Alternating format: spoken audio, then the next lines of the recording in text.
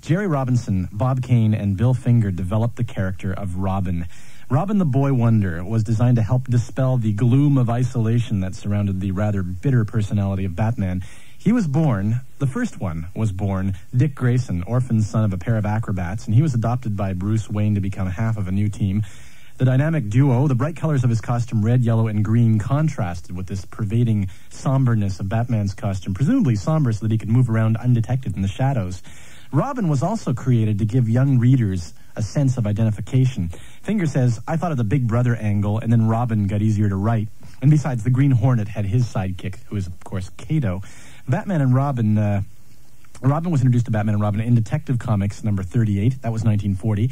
The dynamic duo had been a team since DC and editor Dennis O'Neil killed them off last year in Batman issue 428. But in fact, he actually killed off the second Robin, who is Jason Todd. I went to the listeners on this a couple weeks ago, and I got a lot of responses. Robin is dead, Adrian Shuchek wrote to me from Montreal. He's an architecture student at McGill. He says, in fact, he was killed, but it's okay. It was done democratically by a phone-in vote to DC Comics. Adrian says, if I remember correctly, there were about 3,000 odd calls, and Robin lost by about 153 votes. And Adrian comments, gee, democracy really sucks sometimes. Also, helping me out on this was Matt Murta of Dearborn, Michigan, who sent to me some information from A Death in the Family, which is a DC Comics collector's book that contains the four Batman issues that tell the tale of the death of Robin. And Dick Grayson was the first Robin. He was adopted by Batman when he was 12 years old. And that Batman and Robin partnership flourished for about six years. They had a falling out of some kind, and there's some disagreement about what kind of falling out this was. But Grayson later joined the group known as the Teen Titans, and he adopted the identity of Nightwing and became the Titans' leaders.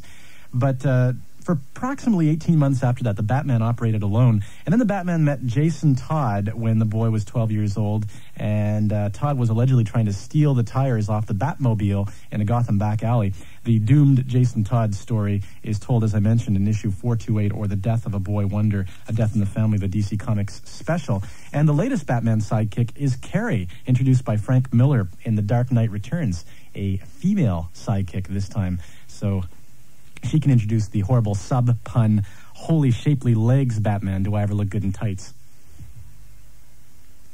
Before you trip over your cape, Batman, riddle me this. There are three men in a boat with four cigarettes but no matches. How do they manage to smoke? Hmm?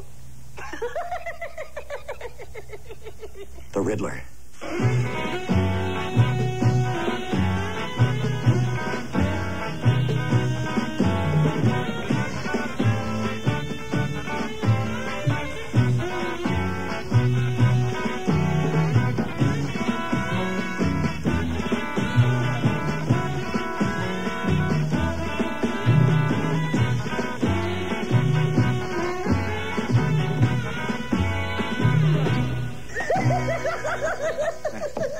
Were three men in a boat with four cigarettes and no matches. How did they manage to smoke? They threw one cigarette overboard and made the boat a cigarette lighter. Correct, boy wonder.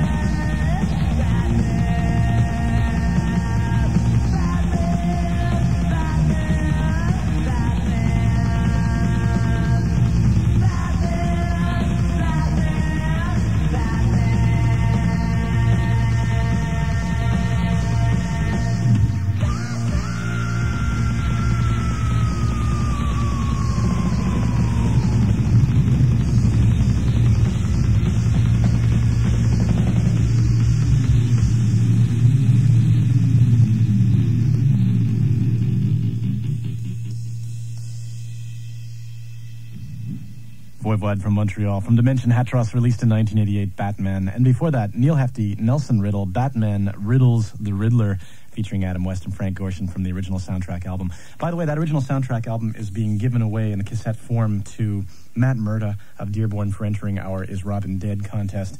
And uh, Adrian Shuchuk gets a copy of The Dark Knight Returns for also attempting the uh, the contest. The Batman image took kind of a battering over the years, and towards the end of the 1950s, these pointless characters like Batwoman, Batgirl, Batmite, and Ace the Bat Hound were introduced cheapening the image, which during the 60s received a further drubbing in the campy television series, which is, of course, a cult classic these days and much beloved, though not really because of Batman. It's more beloved because it's just so bizarre. But in fact, one of the greatest things that happened to Batman was in 1986, Frank Miller introduced The Dark Knight. And Alan Moore, writing in the introduction of this book, says the most immediate and overpowering difference of this new Batman is obviously in the portrayal both of the Batman and of Bruce Wayne, the man beneath the mask. Depicted over the years as alternately a concerned do-gooder and revenge-driven psychopath, the character as presented here manages to bridge both of these interpretations quite easily while integrating them in a much larger and more persuasively realized personality. Every subtlety of expression, every nuance of body language serves to demonstrate that this Batman has finally become what he should always have been. He is a legend. Let's go.